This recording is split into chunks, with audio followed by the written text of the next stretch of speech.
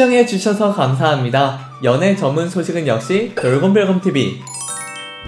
안녕하세요. 돌곰별곰TV입니다. 이번 시간은 트와이스에 대한 소식을 전해드리겠습니다. 첫 번째 소식입니다. 트와이스가 미국 유명 TV 프로그램 켈리 클락슨 쇼에 첫 출연하여 글로벌 팬들을 매료시켰습니다. 트와이스는 지난 27일 미국 시간 기준 오후 2시에 방송된 미국 NBC의 켈리 클락슨 쇼에서 Me 퍼포먼스를 선보이고 worldwide 시청자들을 사로잡았습니다. 켈리 클락슨 쇼는 세계적인 싱어송라이터이자 배우인 켈리 클락슨이 진행하는 인기 토크쇼 대표로 닉 조나스, 두아 리파, 존 레전드 등 해외 유명 아티스트들이 대거 출연했었습니다. 이날 방송에서 켈리 클락슨은 트와이스는 2015년 데뷔한 이래 연속 히트를 기록했고 전 세계 사람들은 이들의 안무에 열광한다 라며 이어 올 여름 선보일 새로운 음악이 기대된다 라고 그룹의 행보를 조명했습니다. 트와이스는 Cry For Me 퍼포먼스를 통해 매혹적인 아름다움은 물론 완벽한 춤선을 뽐내며 K-팝 대표 걸그룹의 위상을 공고히 했는데요. 이를 본 팬들은 Cry For Me 무대가 하나 더 생겨서 기쁘다. 스타일링뿐만 아니라 멤버들의 비주얼도 한층 멋지다. 컴백이 정말 기다려진다. 등 열띤 반응과 함께 만족감을 드러내는데요. 켈리 클락슨 쇼에서 방영된 곡 Cry For Me는 지난해 12월 6일 2010 엠넷 CNN 아시아 뮤직 어워즈에서 최초 공개된 뒤 뜨거운 호응을 이끌며 같은 날 18일 정식 발매가 되었습니다. JYP 엔터테인먼트 수장 박진영 씨와 인기 싱어송라이터 헤이즈가 작사를 맡아 양극 간의 감정이 공존하는 순간 을 노랫말로 담았는데요. 포브스는 Cry For Me에 대해 전설적인 프로듀서 박진영과 유명 록밴드 원 리퍼블릭 멤버 라이언 테더 등 세계적인 작가진이 의기투합한 곡으로 숱한 1위를 거머쥔 트와이스는 음악적 스펙트럼을 넓히고 견고한 글로벌 영향력을 키우고 있다라고 밝혀 이목을 모으기도 했습니다. 또한 Cry For Me는 브라질, 인도네시아, 태국 등 해외 20개 지역 아이튠즈 song 차트 1위에 올랐고 1월 2일자 미국 빌보드 World Digital Song Sales 차트 정상을 차지한 바 있습니다. 한편 트와이스는 해외 TV쇼 출연을 비롯하여 국내외 높은 관심을 받고 있는데요. 지난 1월에는 미국 시사 주간지 타임이 주최한 타임백 톡스에서 정규 2집 Eyes Wide Open의 수록곡 Depend On You를 가창하고 희망찬 메시지를 전했습니다. 오는 5월 12일에는 일본의 새 싱글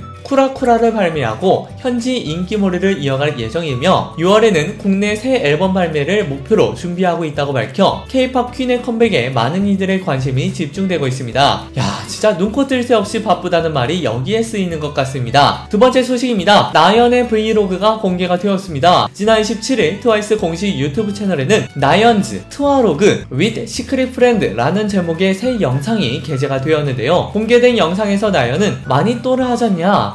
제가 작년부터 하고 싶었던 마니또라서 기대가 된다 라며 제 미션이 굉장히 쉽지 않을 것 같다 라고 말했는데요. 이어 저는 이미 마니또 첫날에 마니또에게 줄 선물을 결정했다 라고 밝혀 눈길을 끌었습니다. 다음날 나연은 오늘부터 배달 음식을 먹지 않기로 다짐해서 저녁을 뭘 먹을지 고민 중이다. 플라스틱 용기가 너무 안 좋다고 해서 아예 안 먹어보려고 노력하는 반나절 차이다 라며 오늘 아침에는 스케줄 가기 전 시리얼이랑 우유 먹었고 촬영하면서 빵 같은 같은 거랑 도시락도 좀 먹었다 라고 하루 일상을 얘기했습니다. 이어 나연의 방에 모모가 등장했고 두 사람은 서로의 마니또에 대해 공유한 뒤 동맹을 맺었습니다. 모모와 동맹을 맺은 뒤 나연은 자신의 방을 일부 공개해주며 마니또에게 편지를 쓸 편지지를 고르기 시작했는데요. 마음에 드는 편지지가 없던 나연은 다음날 모친과 함께 이동해 선물과 편지지를 구매했고 직접 선물을 포장하기 시작했습니다. 나연은 제 마니또가 갖고 싶다고 한 선물이다 라며 마니또 이름을 검색 해서 마니또가 갖고 있는 물건을 다 보고 따끈한 신상으로 샀다 라며 직접 구매한 포장지를 이용해 선물을 포장하는 데 성공했습니다. 여러분 구독과 좋아요 잊지 마세요.